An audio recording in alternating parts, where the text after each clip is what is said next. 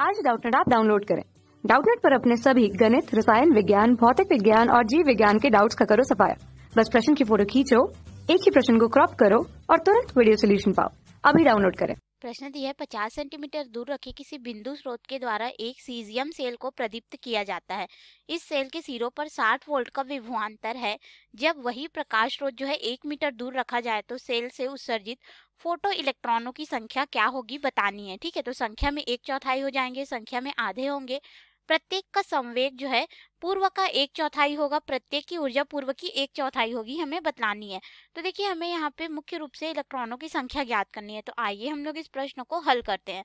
तो देखिए, जो प्रकाश इलेक्ट्रॉन होते हैं, ठीक है, वह इलेक्ट्रॉन जो होते हैं, प्रकाश इलेक्ट्रॉनों की संख्या को अगर हम लोग एन से प्रदर्शित करें तो यह जो रहती है, तीव्रता आई के समानुपाती हो जाती है।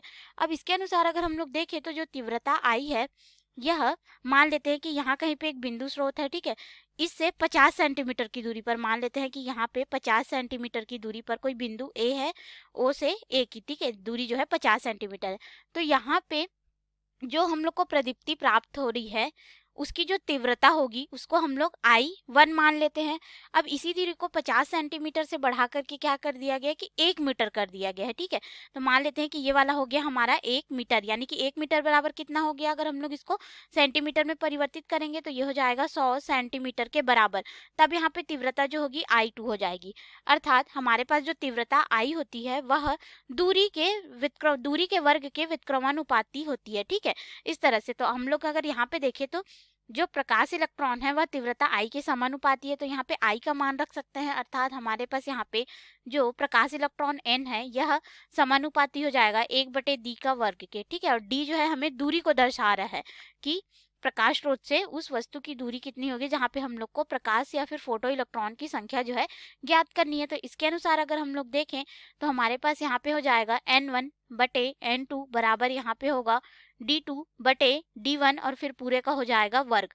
अब हम लोग यहाँ पे मान रखते हैं तो हमारे पास यहाँ पे हो जाएगा मान एन वन बटे एन टू, पहले में एन वन था, फिर बाद में एन टू हो गया, ठीक है? अब दूरी को अगर हम लोग यहाँ पे देखें तो ये हो जाएगा, दूसरी स्थिति में हम लोग एक मीटर यानी कि सौ सेंटीमीटर लेंगे, फिर पहली स्थिति में पचास सेंटीमीटर था। अब इसका वर्ग कर देंगे तो ये पचास से एक बार में, पचास से दो बार में, यानी कि दो का वर्ग हो जाएगा, अर्थात ये हो जाएगा चार। और इसको देखें तो ये चार बटे एक के रूप में हमें प्राप्त होगा। अर्थात हमारे पास यहाँ पे चार बटे एक जो है, इसको हम लोग इस तरह से देखो एन वन बटे एन टू बराबर हमें यहाँ पे चार बटे एक प्राप्त हो रहा है। अब यहाँ पे तिरक गुड़ा कर देंगे तो हमारे पास यहाँ पे मान जो है हो जाएगा एन वन बराबर ये इधर गुड़ा हो जाएगा।